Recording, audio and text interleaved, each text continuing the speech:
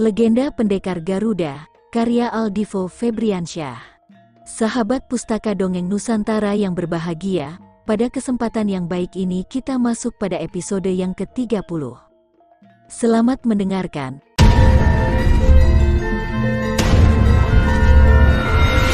Jangan sampai lengah ataupun melamun gledek, ingat kita adalah bagian dari kesuksesan dari rencana yang dibuat oleh Abbas, ucap Sumbayu kepada Singo Gledek, Meskipun saat ini mereka berdua sama-sama budak dari Widura, tapi di mata Singo Gledek derajat Sumbayu tetaplah lebih tinggi dari dirinya. Hal itu dikarenakan dahulunya Sumbayulah yang mengajak dirinya berguru pada seorang pendekar pertapa di dalam hutan belantara. Yu, kau tahu, aku saat ini sungguh merindukan guru saat melihat hutan ini. Bagaimana kabarnya saat ini? Aku harap dia baik-baik saja, seru Singo Gledek. Sudahlah jangan kau pikirkan hal itu, aku yakin guru baik-baik saja. Dengan ilmu kanuragan yang dia miliki, kau pikir siapa yang berani mengganggu dirinya? Tidak ada bukan, ucap Sumbayu dengan senyum yang menghiasi wajahnya. Singo Gledek hanya mengangguk setuju. Boom, boom, ledakan dahsyat nampak terdengar hampir ke seluruh penjuru hutan. Panjul dan Dharma yang sedang berjalan menuju tempat peristirahatan mereka sontak langsung menghentikan langkah kaki mereka. Namun, setelah mendengar suara dentuman keras itu berasal dari tempat peristirahatan mereka, keduanya secara spontan langsung mempercepat langkah kakinya. Panjul dan Dharma jelas begitu mengkhawatirkan keselamatan dari Abbas dan Widura. Mereka berdua jelas sangat takut jika keduanya diserang oleh pasukan taring maut yang menemukan keberadaan mereka saat ini. Tubuh Abbas mengalami lonjakan energi dan tenaga dalam sehingga terjadi benturan yang menghasilkan ledakan dan dentuman keras yang menggema ke seluruh penjuru hutan. Burung-burung langsung beterbangan menjauh sejauh mungkin, mereka yang memiliki insting tajam jelas memilih melarikan diri, bahkan kawanan harimau nekat menerbos kawasan pertanian warga kampung karena mendengar suara ledakan keras itu. Bahkan semua kecil sekalipun memilih melarikan diri, kawanan semut itu berbaris rapi meninggalkan hutan radius puluhan meter menjauh dari tempat Abbas dan Widura. Widura membuka matanya saat mendengar ledakan dahsyat yang menggema ke seluruh penjuru hutan. Widura bahkan terdorong beberapa depa ke belakang akibat ledakan energi dan tenaga dalam yang dimiliki Abbas, beberapa pohon juga terlihat tumbang. Jadi inikah kekuatan sesungguhnya Paman Abbas, Sayang sekali di kehidupan pertamaku paman tidak mampu mencapai pendekar langit karena tewas dalam penyerangan keluarga komet, guman Widura di dalam hatinya. Tubuh Abbas terus bereaksi dan tekanan aura di sekitarnya terus meningkat. Beberapa saat kemudian Panjul dan Dharma sudah tiba di lokasi tersebut, mereka jelas sedikit terdorong ke belakang saat terus berusaha mendekati Abbas. Hanya Widura seorang diri yang mampu mendekati Abbas. Apa yang terjadi dengan Abbas? Tekanan kekuatan ini sungguh mengerikan, ucap Dharma. Ini tidak baik, aku akan semakin tertinggal dari Abbas. Ketika sampai di kota Raflesia nanti aku akan berlatih lebih baik, seru Panjul. Dharma yang mendengar hal itu jelas merasa kaget. Ia memang menjadi saksi dari persaingan berat antara Abbas dan Widura. Mereka terlibat pertarungan sejak usia dini sehingga membuat mereka dekat dan pada akhirnya menjadi sahabat. Namun ketika ayah dari Panjul dicap pengkhianat karena gagal dalam misi, Panjul akhirnya memutuskan berhenti dari dunia persilatan sehingga secara tidak langsung hal itu membuat dirinya tertinggal cukup jauh dari Abbas. Widura yang menyadari kedatangan Panjul dan Abbas akhirnya berjalan cepat mendekati keduanya. Paman sudah kembali, sapa Widura kepada keduanya. Apa yang terjadi dengan Abbas? Tanya Dharma, Paman Abbas sedang berusaha menembus pendekar langit, ledakan energi tenaga dalam dari tubuhnya benar-benar luar biasa. Aku yakin Paman Abbas akan membuka paling sedikit satu gerbang saat dirinya berhasil menembus pendekar langit, jawab Widura. Penjelasan Widura resmi membuat Panjul dan Dharma terlonjak kaget. Jika benar Abbas akan membuka gerbang pertama, apalagi gerbang kedua maka dia akan melampaui pencapaian dan kekuatan dari Anas, ketua keluarga Lentera. Kau tidak bercanda keponakan Widura? Tanya Panjul yang masih sulit percaya dengan ucapan dan penjelasan dari Widura. Tentu saja tidak paman, Tiada gunanya aku bercanda, jawab Widura dengan mantap. Panjul hanya tersenyum tipis mendengar jawaban dari Widura. Ia jelas merasa iri dengan Abbas, namun dia juga bangga memiliki teman seperti Abbas dan juga Anas yang benar-benar memiliki bakat yang mengerikan. Jika memang nanti Abbas berhasil menembus pendekar langit maka ia secara tidak langsung memecah rekor petjapain dari Troyo Bastolo yang mencapai pendekar langit di usia 30 tahun. Akhirnya Widura, Panjul dan Dharma memilih beristirahat sedikit menjauh dari lokasi Abbas yang sedang bersemedi. Mereka jelas tidak ingin terjadi hal buruk jika memaksa mendekat ke tempat Abbas. Mereka bertiga akhirnya memilih ikut bersemedi untuk memulihkan tenaga dalam mereka yang terkuras habis. Panjul bahkan berencana untuk meningkatkan jumlah tenaga dalam miliknya agar tidak tertinggal terlalu jauh dari Abbas. Dua hari berlalu dan pagi ini Abbas mulai membuka matanya dengan berlahan. Abbas jelas merasakan ledakan energi di dalam tubuhnya. Namun, Abbas tetap memaksa tubuhnya bekerja keras untuk menembus pendekar langit. Saat Abbas merasakan kekuatannya, ia benar-benar merasa kaget. Dia tidak menduga jika saat ini dia sudah berada di tingkatan pendekar langit puncak gerbang pertama. Lonjakan energi dan tenaga dalam di tubuh Abbas berhasil membuat dirinya membuka paksa gerbang pertama dan baru berhenti ketika dirinya mencapai puncak gerbang pertama. Abbas melihat lima orang yang berada cukup jauh dari dirinya sudah bersiap-siap, tampaknya mereka semua sedang menunggu dirinya. Abbas yang menyadari hal itu langsung melompat dan berjalan menuju ke arah lima orang itu. Maaf sudah membuat kalian menunggu terlalu lama, ucap Abbas. Tidak juga paman, ayo sebaiknya kita segera lekas berangkat ke desa. Kita harus cepat tiba di desa untuk membuat kelancaran dari rencana kita paman, balas Widura. Abbas hanya mengangguk dan berjalan mengikuti Widura dan lainnya. Abbas masih tidak percaya jika dirinya saat sudah mencapai pendekar langit, mengingat usianya masih begitu muda. Tidak membutuhkan waktu yang lama, mereka sudah tiba di desa sementara itu Panjul dan Dharma sudah pergi ke hutan terlebih dahulu. Ingat rencana awal, kalian berdua pancing mereka ke dalam hutan. Kalian harus bertarung menggunakan kekuatan penuh agar membuat mental lawan daun dan semangat bertarungnya menurun, ucap Abbas kepada Sumbayu dan Singo Gledek. Sumbayu dan Singo Gledek mengangguk setuju. 20 orang lebih berjalan menuju desa, mereka semua dibekali dengan pedang di punggung mereka masing. Mereka dipimpin oleh seorang laki-laki tinggi. Laki-laki itu berada di puncak pendekar raja, sementara orang-orang di belakangnya adalah gabungan pendekar raja dan pendekar madya. Mereka bergerak sedikit lambat karena membawa sebuah kereta kuda. Mereka semua adalah kawanan bandit yang kembali datang untuk menjarah desa. Tidak membutuhkan waktu cukup lama, mereka sudah tiba di pintu gerbang desa. Hal itu dikarenakan jarak antara markas mereka dan desa tidaklah terlalu jauh. Pemimpin dari pasukan itu memasuki desa pertama kali. Ia melihat warga kampung merasa begitu ketakutan saat melihat kedatangan kelompok mereka. Hahaha bagus-bagus kalian sudah melakukan pilihan yang tepat dengan menyediakan upeti seperti yang kami minta. Pemimpin dari pasukan itu tersenyum lebar ke arah warga kampung itu. Kalian semua masukkan semuanya ke dalam kereta, kita akan segera meninggalkan desa ini, ucap pemimpin bandit itu. Mereka yang diperintah langsung bergerak cepat memasukkan semuanya ke dalam kereta kuda, sementara sisinya menarik pedang dan memberi ancaman kepada warga kampung. Hal itu dilakukan karena takut ada warga kampung yang nekat menyerang mereka. Baiklah, satu purnama ke depan, kami akan kembali datang menagih upeti kalian, ucap pemimpin bandit itu, semuanya ayo kita kembali, ajak pemimpin bandit itu kepada bawahannya. Baru beberapa langkah mereka berjalan, langkah mereka terhenti saat dua orang laki-laki menghadang mereka. Menyingkirlah jika kau masih ingin hidup, hardik pemimpin bandit itu sambil menghunuskan pedangnya ke arah dua orang laki-laki itu. Haha apa kau mendengar suara anjing saudaraku? Tanya laki-laki yang membawa golok di pinggangnya. Haha sepertinya anjing di hadapanku sangat buas sekali, jawab laki-laki jangkung di sebelahnya. Pemimpin bandit yang diambaikan dan dikatakan sebagai seekor anjing jelas merasa murka.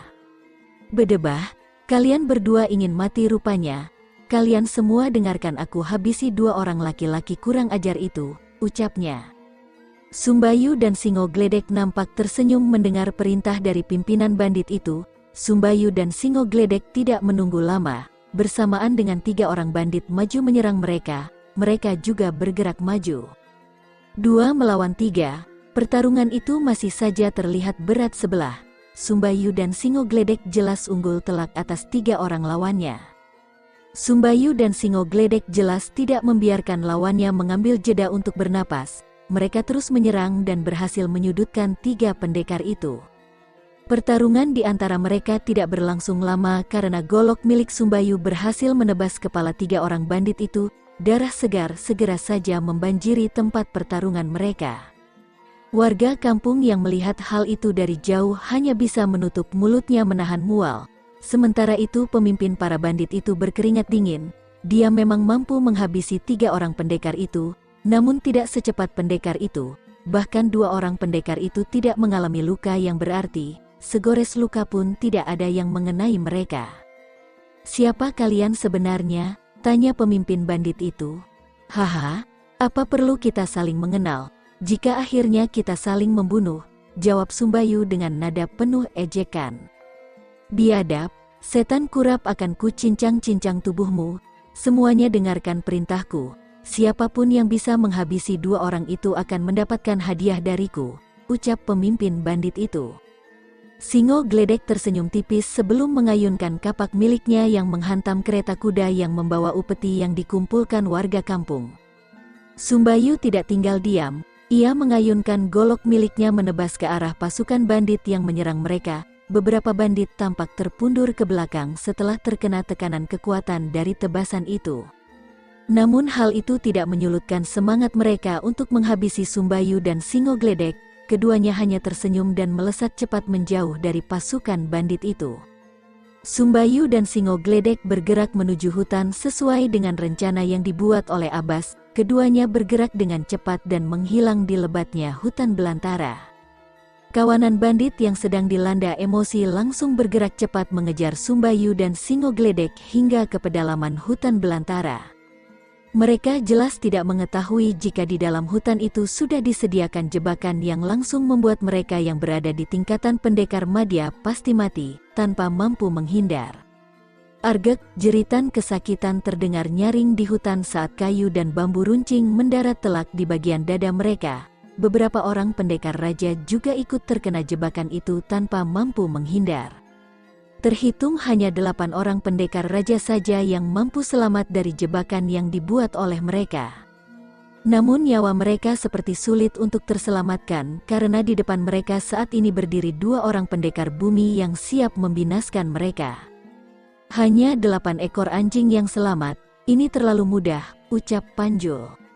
Sudahlah jangan terlalu meremehkan kekuatan lawan, kita tidak tahu jika belum bertarung, Balas Dharma yang memilih langsung bergerak cepat menyerang delapan orang pendekar raja itu, dua melawan delapan.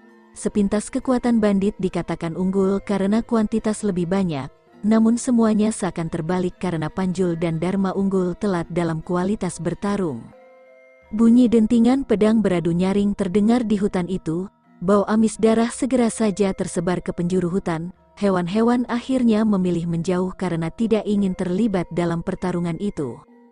Panjul Damdharma jelas berhasil membuat delapan bandit itu terdesak. Sejak pertama kali pertarungan dimulai kawanan bandit itu tidak pernah berhasil memberikan serangan balasan kepada Panjul maupun Dharma. Delapan orang itu jelas tidak menduga jika lawan mereka hadapi adalah pendekar bumi. Jika sejak awal mereka mengetahui kekuatan lawan sudah mencapai pendekar bumi, mereka mungkin tidak akan berani memulai pertarungan. Tunggu, apa kami memiliki masalah dengan kalian? Tanya pemimpin rombongan bandit itu sembari memegangi dadanya yang tersayat pedang cukup dalam. Masalah kalian, kalian sudah memasuki hutan kekuasaan kamu dan tidak ada yang boleh keluar hidup-hidup dari hutan ini, jawab Panjul dengan suara yang berat sehingga membuat lawannya semakin berkeringat dingin dan ketakutan. Di waktu yang bersamaan Sumbayu dan Singo Gledek memilih kembali ke desa, di sana sudah ada Abbas dan Widura yang berdiri dengan gagah di hadapan warga kampung dan juga kepala kampung. Mereka semua jelas tampak merasa takut melihat Abbas dan Widura, apalagi ditambah dengan kehadiran Sumbayu dan Singo Gledek. Apa mau kalian? Apa kalian ingin merampok harta kami seperti yang mereka lakukan kepada kami? Tanya kepala kampung itu.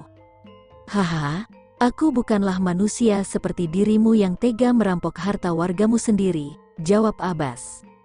Kepala kampung yang mendengar hal itu jelas merasa terkejut. Dia jelas mengetahui arah pembicaraan dari Abbas.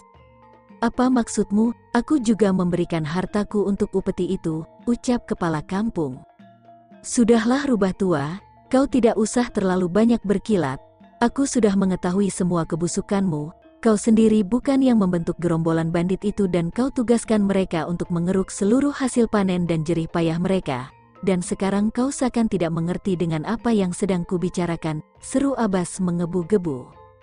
Kau menuduh diriku, sergap kepala kampung itu dengan emosi yang sudah tidak tertahankan lagi. Jika bukan dirimu lantas siapa lagi rubah tua, Abbas melepaskan aura bertarung miliknya untuk menekan kepala kampung itu.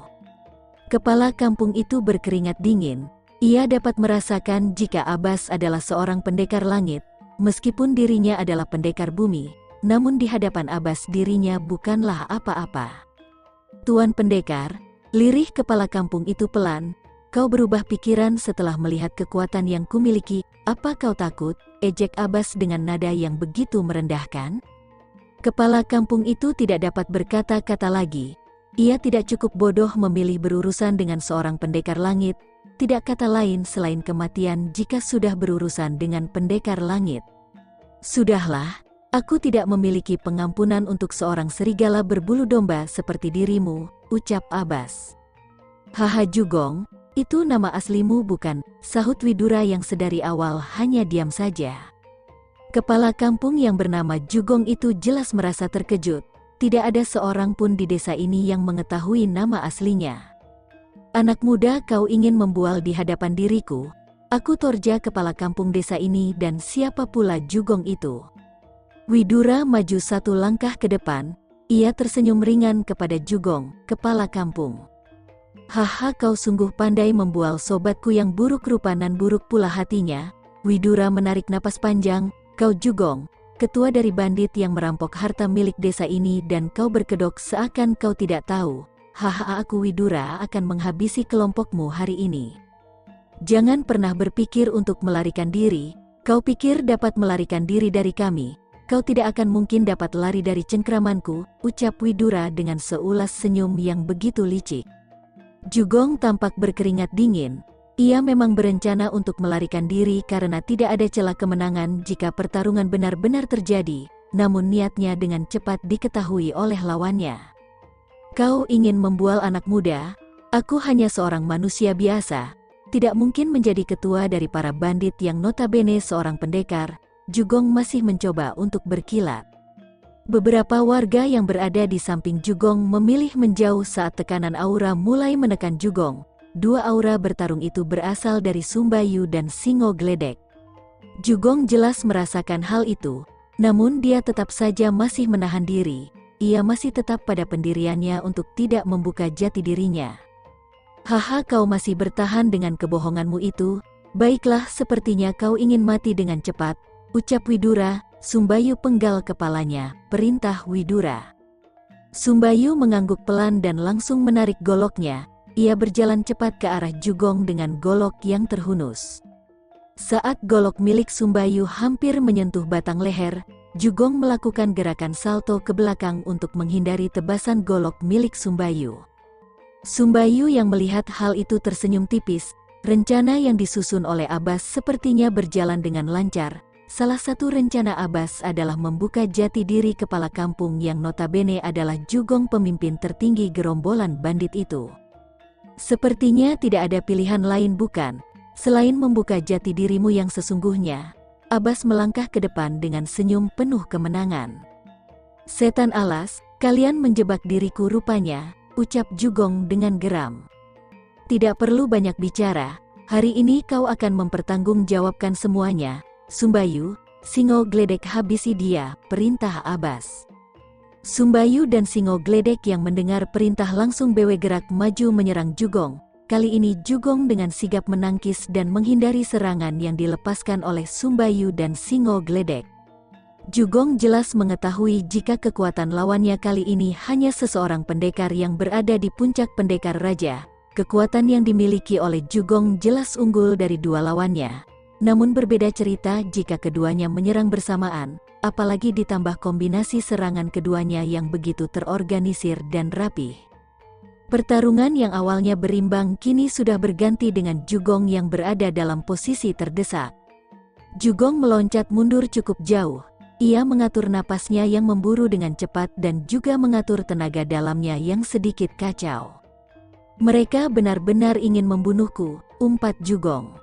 Sumbayu dan Singo Gledek nampak sengaja membiarkan Jugong mengatur napas dan tenaga dalamnya. Jugong yang menyadari hal itu jelas merasa bimbang. Dirinya tidak mengerti dengan jalan pikiran dari Sumbayu dan Singo Gledek. Jugong jelas merasa ada yang tidak beres. Seandainya Jugong yang berada dalam posisi Sumbayu dan Singo Gledek, ia saat pasti bergerak menyerang lawannya dengan habis-habisan memanfaatkan kelemahan dan celah yang diciptakan lawannya saat mengatur napas dan tenaga dalamnya.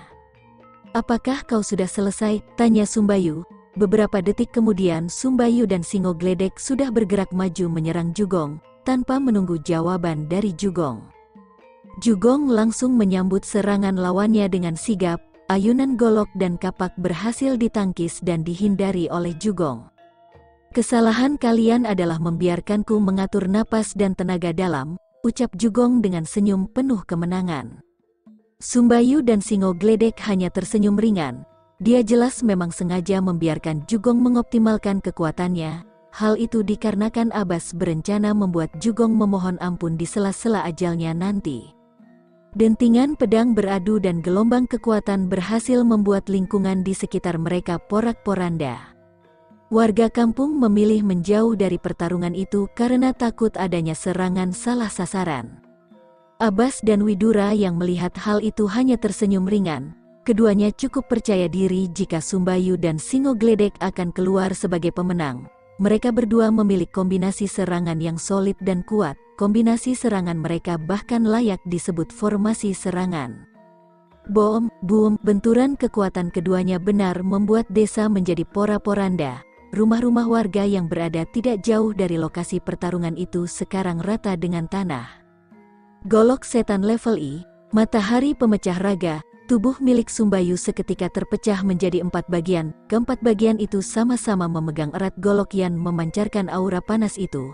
Sedetik kemudian keempat bagian itu melesat menghantam tubuh Jugong hingga menimbulkan ledakan yang dahsyat.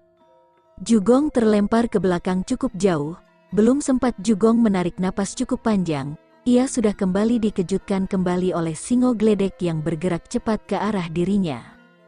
Kapak pembelah bumi ayunan kapak milik singo gledek berhasil mendarat di tubuh Jugong dan membuat tubuhnya terbelah dan bersamaan dengan itu Jugong tewas dalam pertarungan itu. Semua warga kampung yang melihat hal itu hanya bisa menutup mulut dan mata saat melihat tubuh Jugong terbelah menjadi dua bagian, mereka semua jelas tidak menduga jika kepala kampung yang dikenal baik hati itu mati dengan mengenaskan dan yang paling mengejutkan untuk mereka adalah kepala kampung itu adalah pemimpin tertinggi gerombolan bandit dan seorang pendekar bumi. Tenanglah, tidak ada yang perlu kalian khawatirkan. Semuanya akan baik-baik saja. Abbas menenangkan warga kampung yang mulai panik karena ketakutan. Semua warga kampung yang mendengar ucapan Abbas hanya memilih diam, tidak ada seorang pun yang berani membuka suara, mereka jelas masih terbayang saat tubuh Jugong terbelah dua. Mereka jelas berpikir itu baru bawahan dari Abbas. Bagaimana jika kekuatan Abbas yang menghantam mereka? Paman sebaiknya kita segera menuju markas utama bandit itu dan segera kita habisi mereka sampai ke akar-akarnya supaya tidak menimbulkan masalah di kemudian hari, ucap Widura. Abbas mengangguk setuju, mereka berempat akhirnya segera pergi meninggalkan desa, mereka bergerak cepat mengikuti langkah kaki Widura menuju markas utama gerombolan bandit. Widura mengatakan jika tidak salah ada sekitar 20 orang lagi yang berada di markas tersebut, dua orang pendekar yang berada di puncak pendekar raja dan sisanya gabungan pendekar raja tahap awal dan puncak pendekar madya. Mereka tidak membutuhkan waktu yang lama untuk tiba di markas utama gerombolan bandit karena memang markas mereka terletak tidak begitu jauh dari desa. Mereka bisa melihat beberapa orang yang duduk dengan santai sambil menikmati tuak aren dan sepiring ubi rebus. Mereka jelas tidak menduga jika akan ada bahaya yang mengintai mereka saat ini. Beberapa detik kemudian mereka baru menyadari kedatangan rombongan Widura ketika mereka sudah berada tidak terlalu jauh dari mata mereka. Rupanya ada manusia bodoh yang datang mengantarkan nyawa, ucap laki-laki bertubuh gemuk itu. Widura dapat merasakan jika laki-laki itu adalah seorang pendekar yang berada di puncak pendekar raja. Dia yang bertanggung jawab di tempat ini paman, ucap Widura kepada Abbas. Abbas mengangguk mengerti, ia lantas berjalan ke depan tanpa-tanpa melepas senyumnya yang terlihat begitu licik dan jahat. Kau pemimpin gerombolan dari bandit ini bukan, aku akan memberimu dua pilihan. Pertama, jika kau ingin selamat, maka kau harus membunuh semua orang yang berada di sini. Kedua, kau akan kubunuh dan semua yang berada di sini juga akan ikut mati bersama dengan dirimu. Ucap Abbas dengan senyum penuh percaya diri. Gardik pilihan macam apa itu? Kau pikir kalian mampu mengalahkanku? Jangan berlagak seolah kau pahlawan jika tidak ingin mati, ucap laki-laki bertubuh gemuk itu. Baiklah sepertinya kau memilih pilihan kedua. Abbas bergerak maju menyerang laki-laki gemuk itu. Laki-laki gemuk yang tidak menduga jika Abbas adalah seorang pendekar jelas kewalahan menghadapi gempuran serangan dari Abbas. Apalagi perbedaan kekuatan mereka terlampau sangat jauh. Hanya dalam beberapa jurus saja, Abbas berhasil membuat laki-laki gemuk itu terpental menabrak bangunan kayu itu. Laki-laki gemuk itu memuntahkan darah segar berwarna hitam yang menunjukkan jika luka yang dia derita tidaklah ringan. Apa kau masih sanggup untuk berdiri dan menghadapiku untuk beberapa jurus lagi? Tanya Abbas dengan senyum percaya diri. Laki-laki gemuk itu hanya terdiam. Dia tidak tahu harus berkata apa lagi. Saat ini dirinya benar-benar menyadari perbedaan kekuatan di antara mereka. Baiklah, aku akan memberimu pengampunan jika kau menang bertarung melawan keponakanku, Widura, ucap Abbas. Ucapan Abbas barusan bak angin segar bagi laki-laki gemuk itu. Ia yakin pemuda yang berdiri di belakang Abbas lah keponakannya itu. Apakah aku bisa memegang ucapanmu itu? Tanya laki-laki gemuk itu. Tentu saja, itu pun jika kau mampu mengalahkan keponakanku ini, ucap Abbas. Laki-laki gemuk itu tersenyum bangga dan penuh keyakinan tinggi. Laki-laki gemuk itu mengangguk setuju dan mempersilahkan Widura untuk maju dan bertarung dengan dirinya. Widura segera maju menyerang laki-laki gemuk itu. Laki-laki gemuk itu yang menganggap Widura remeh dan enteng kini harus puas dibuat kewalahan karena tidak cukup sigap menghalau serangan dari Widura. Dalam beberapa kali pertukaran serangan, laki-laki berbadan gemuk harus puas terpundur beberapa langkah ke belakang. Kau ternyata tidak semudah yang aku kira, tapi aku tidak akan mungkin kalah darimu bocah tengik. Laki-laki gemuk itu bergerak cepat menyerang Widura. Widura dengan cepat nan sigap menyambut serangan itu dengan baik.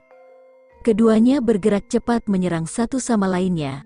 Pertarungan sengit terjadi di antara keduanya, Tendangan berbalas pukulan yang terus menghasilkan gelombang kejut yang cukup dahsyat, bangunan milik gerombolan bandit seketika hancur lebur akibat serangan keduanya yang salah sasaran.